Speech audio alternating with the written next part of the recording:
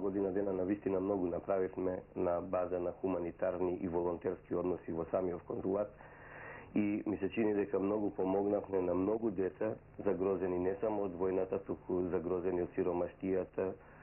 загрозени од се она што настана во овие тешки и за нас непредвидливи времиња. Благодарение на тоа што сепак во Република Македонија се сочува мирот, конзулатов за оваа година можеше на некој начин мирно да работи и мирно да ги обавува своите действија. Инаку во овој конзулат работат луѓе кои што се од разни области, разни специјалисти, волонтери, хуманитарци, кои што со својата стручност во секое време нудат, сакаат и даваат помош на сите деца кои што се загрозени во било кој однос. Тие луѓе со својата огромно знаење и со својата огромна љубов не само кон децата и тоа не само кон децата од од вој подрачјата зафатени со војна во бившите простори на Југославија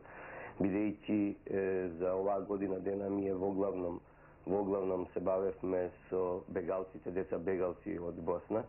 Но нашата цел и нашата идеја е не да се помогнува само на тие деца кои што се загрозени од војната, туку да се помогнува на сите сите деца на кои што им е потребна помош. Значи тие луѓе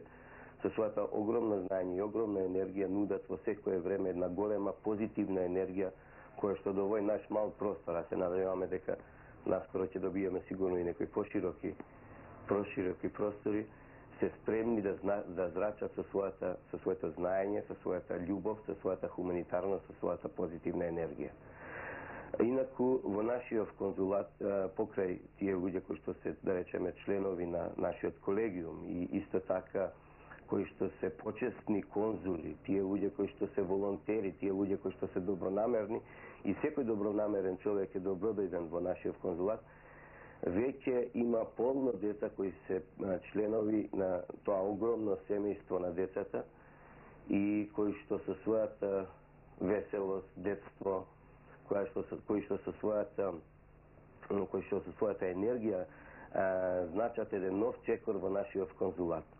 Се надеваме дека такви ограноци, тоа подконзуларни оделенија, дека наскоро ќе се отворат на секаде да низ нашава република, инаку такви конзулати веќе постојат во неколку земји во светот. Добивме во последно време неколку барања во 14 европски земји да се отворат